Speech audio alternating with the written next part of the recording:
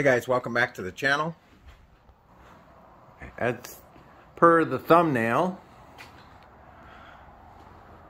we're going to be adding 540 more watts of solar panels.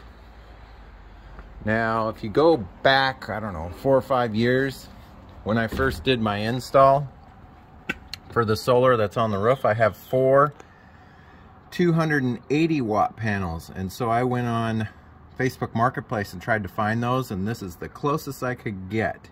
So we're only 10 watts off.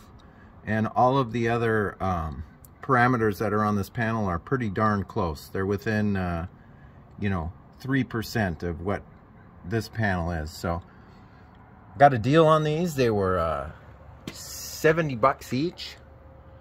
And so uh, I came up with this idea that something I wanted to do for a while is to create an awning that goes out a little bit, you know, five feet or six feet from the top of the shelter so that when we're parked somewhere, we have a little bit of protection and shade on the door there. And if it's raining out, we can have the door open and listen to the sound of the rain on the on the awning or whatever. I was originally going to use a piece of uh, stainless just to make a, a little, you know, shade.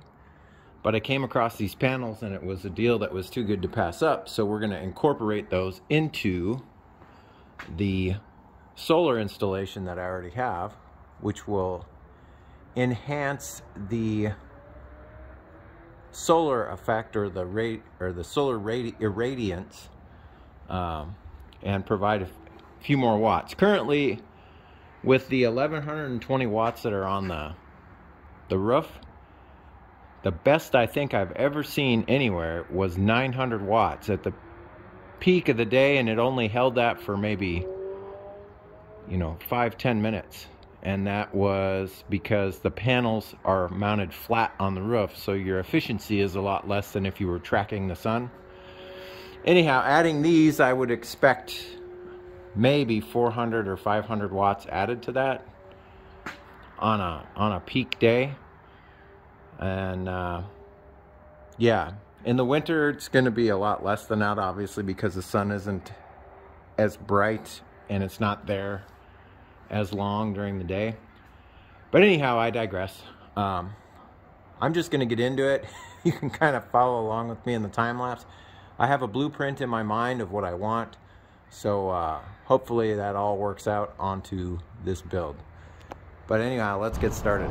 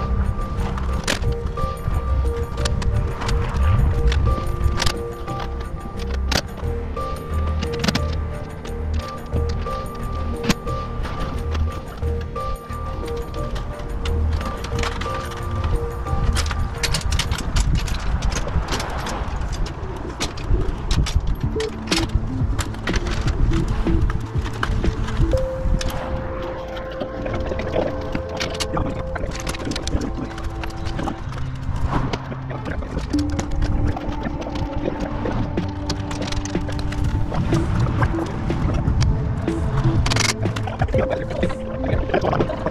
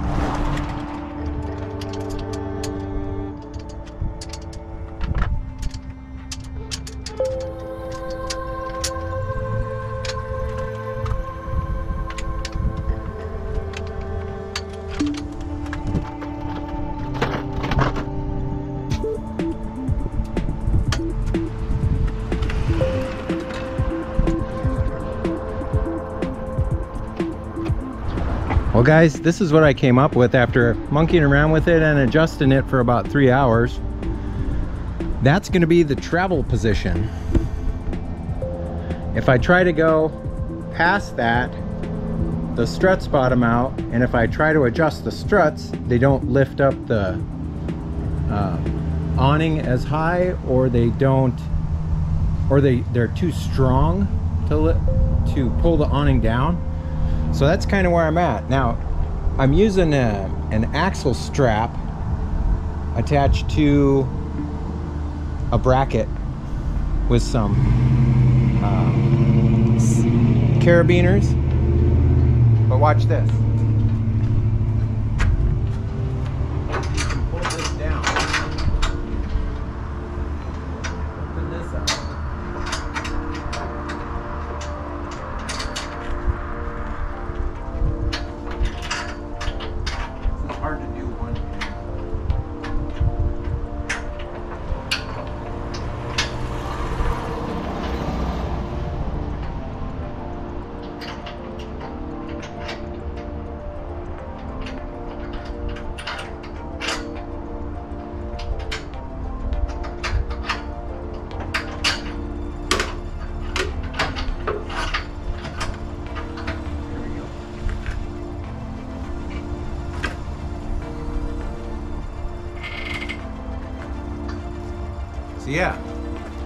It leaves it at an angle, which is perfect. The door opens and everything, and it's gathering solar.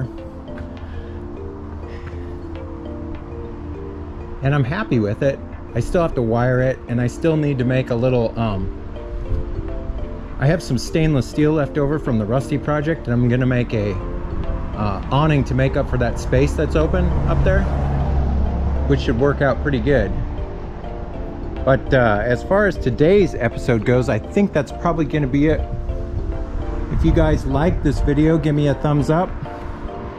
If you're not subscribed yet, I'd love to have you as a subscriber. There's gonna be a part two to this, obviously, because I gotta get it wired and show you guys how how many watts it added to the solar and all that fun stuff, but that'll be for another day. This has pretty much wiped me out. I'm exhausted. Other than that, uh, I hope you guys are staying safe, taking care of each other, and as always, I will catch you next time. See you later. Bye-bye.